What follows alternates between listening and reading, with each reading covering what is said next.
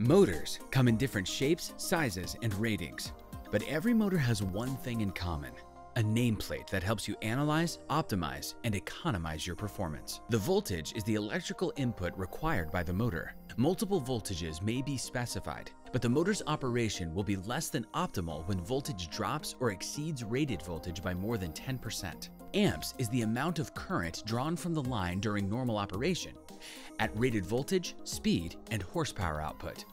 Full load efficiency reflects the power output divided by the power input at full load.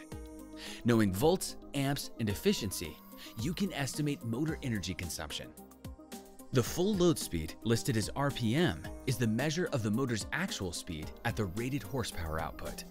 Locked rotor amps tells you the current draw when the motor is energized with full voltage but not rotating. Comparing this number to the amps rating will determine the potential surge severity during startups or jams.